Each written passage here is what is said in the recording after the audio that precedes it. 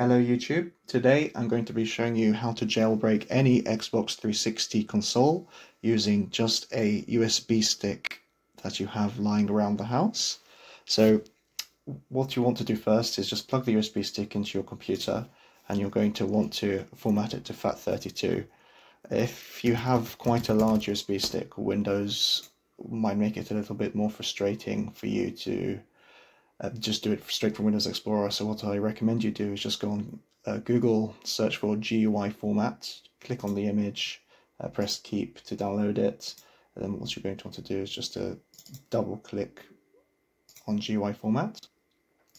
And once you've done that and you have your USB stick connected uh, to your PC, just make sure that you have identified the right USB stick. So mine is this 64 gigabyte USB stick here. Now you can see that if I try to format it within Explorer, it doesn't give me the option to format as FAT32, which is why I'm using the GUI format tool. And so I can see the letter here is I, so I'm just going to be very careful to select I, and I can give it any old label. Uh, I'm just going to call it Xbox. I'm going to leave quick format selected, and I'm just going to be careful to just make sure that I have uh, close Windows Explorer. I'm going to hit start, OK, and there we go. We can see that it's formatted successfully.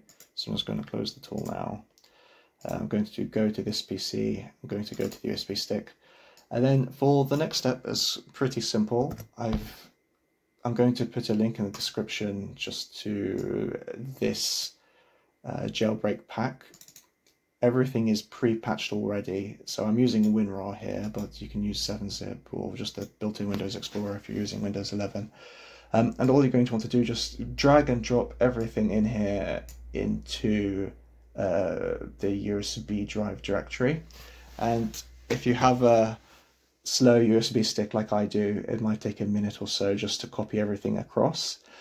So what this pack has, it has the bad update payload for the Rock Band Blitz game already set up. Um, uh, it has Aurora pre-patched for the um, USB soft mod and also has a NAND dumper pre-patched that's ready for you to use as well. So I'll literally just give it a moment just to finish copying that across. It also has XCX menu for just starting any uh, Xbox executable. Anyway, okay, so it's copied across now. I'm just going to take the USB stick out of my PC and what I'm going to do is I'm going to plug it straight into my Xbox 360. So I'll just go across here. And this works for any Xbox 360 model, doesn't matter whether it's uh, fat, whether it's slim, whether it's a Winchester and they're all the, the process is exactly the same for all of them. So what you want to do is you just want to plug the USB stick into the Xbox.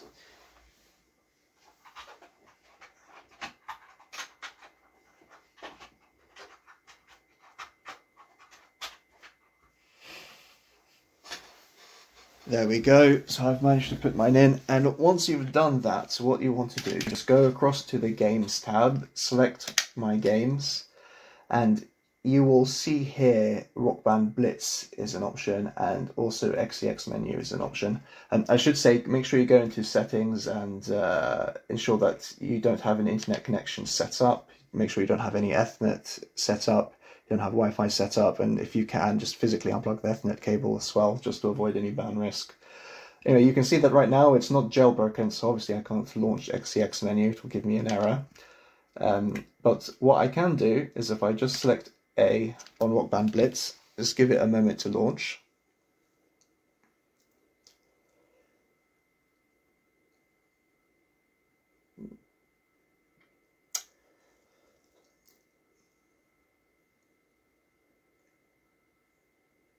And what you'll see, there you go, is the Rock Band Blitz menu. So just tap on A to start, and you will see that it says running exploit. And now you have to play the waiting game it can depend on is the exploit is very temperamental just due to the way that it works because it basically it works through a hash collision method it can take a while for the right conditions to be met for the exploit to be run so it can take anywhere from between a minute up to 20 minutes for it to be successful in my experience um, so yes, it's just a, a matter of playing a waiting game now. So just a few things to look out for just while you're waiting for the exploit to kick in. Uh, so as you can see here that the background you can see that the background is moving and uh, if you have haven't got your speakers muted you'll also be able to tell that there is still there'll be the music playing in the background and that's how you know that it's still running. So you can see now that the background has frozen. If it freezes like this what that means is that the exploit has failed and you just need to repeat the process again. Um, and by that I mean you just want to literally power off the Xbox 360 you want to power it back on, and then you just want to go straight back to the Games tab uh, to try and launch it again. So what I'm doing here is I just want to show you just how long it can take sometimes for the exploit to be successful. Um, and just so you can see that it takes a, a, couple of goes for you to finally get it to kick in. You don't have to be signed into any profile. So I'm just going to go ahead and hit skip sign in. I'm going to go back to my games. I'm going to open Rock Bandits again. And I'm just going to press A. I'm going to wait a little bit longer. Fingers crossed that we'll get a result this time. Let's see.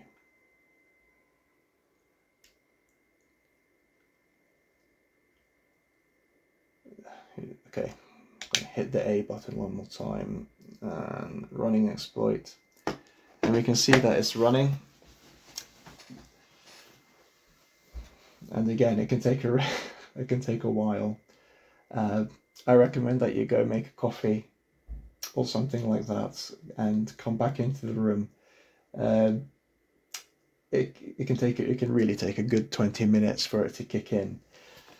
So I suppose I'm just going to talk to you a little bit about the differences between this soft mod exploit and uh, actually getting the soldering iron out and doing a physical RGH mod of the console.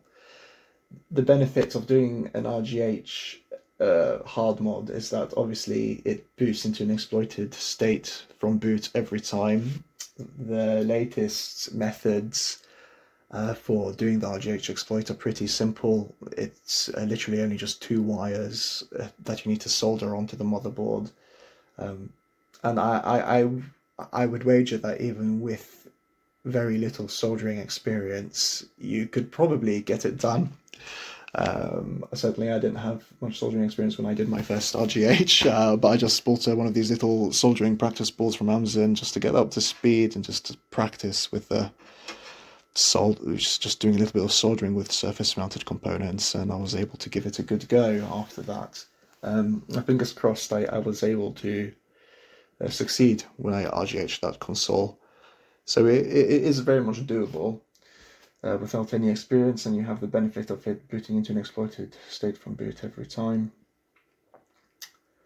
Obviously, this this method, whilst it does allow you to use Aurora to boot, uh, for example, Xbox back Xbox the original Xbox backward compatible games, it allows you to back up your uh, physical games with Aurora and so on uh, because of how long it can take for the exploit to actually succeed um, for day to day use, unless you're able to keep your Xbox 360 running 24 7, is going to quickly become quite frustrating for you to, to, to use, as I'm sure you'll be experiencing. I, I think something that I find really interesting about this exploit is that obviously because it works on Winchester, uh, the very newest consoles, so you're able to dump the NAND from those consoles and you're able to open it up in whatever tool you'd like uh, to extract the key vault from it. So in case you're you have a console that is banned, um, you can now unban it using a key vault from a Winchester console, which is very useful.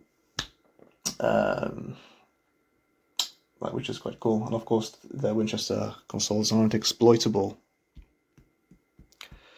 with a through a hard mod method. So this is the only method that you can use to run unsigned code on on those consoles.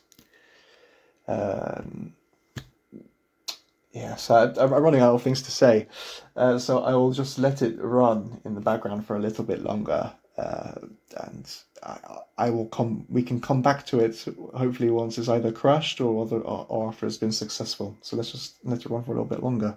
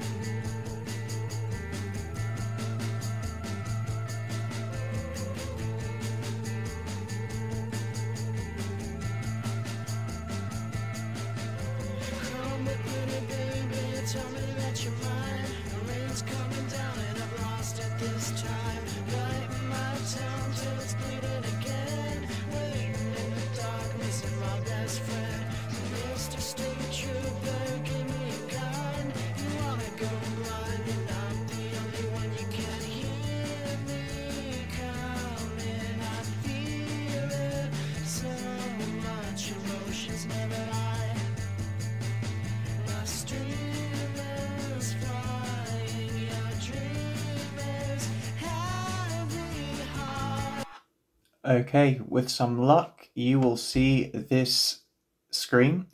Uh, the exploit has run successfully and your CPU key will be shown to you. I've blurred mine out uh, and I advise that you don't share it with other people because it can be used to spoof their console as yours and it means that your keyboard will end up getting banned. Definitely uh, it's a good idea to take a picture with your phone of the CPU key, uh, just in case you need to use it again later on. Now, you have two options. You can either launch Zal and you can physically take a picture of uh, the fuses, which might come in handy later. Um, but what I'm going to recommend that you do if this is your first time running this exploit, just hit OK OK again, it will boot you back into the dashboard.